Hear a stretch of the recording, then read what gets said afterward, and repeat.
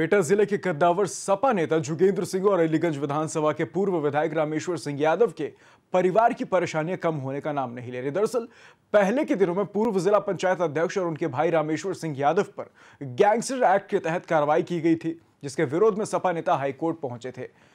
जहाँ से भी सपा नेताओं को कोई राहत नहीं मिल सकी। बताया जा रहा है कि कई जगहों पर सरकारी ज़मीन और तालाब कब्जा करने को लेकर जिला पंचायत अध्यक्ष सहित छह पर मुकदमा दर्ज कर लिया गया है, जिसके बाद प्रशासन ने कार्रवाई करते हुए इनके अवैध ईट, भट्ठे और अवैध निर्माण को ढहा दिया है। पूरे मामले में गैंगस्टर एक्ट के तहत कार्रवाई हो रही है।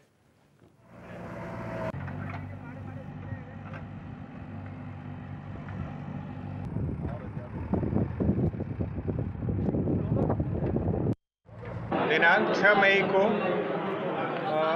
लेखपाल स्थानीय द्वारा थाना जैतरा क्षेत्रांतर्गत ग्राम पंचायत गढ़ी रोशन में छह अभियुक्त गणों द्वारा कुल 33 बीघा सरकारी ज़मीन अवैध रूप से कब्जा करने के परिप्रेक्ष्य में एक अभियोग थाना जैतरा पर पंजीकृत कराया गया है। इसमें 33 बीघा कुल ज़मीन का उल्लेख किया गया है। पुलिस के द्वारा अभियोग पंजीकृत कर साख संकलन के अनुरूप आवश्यक वैधानिक कार्यवाही की जा रही है।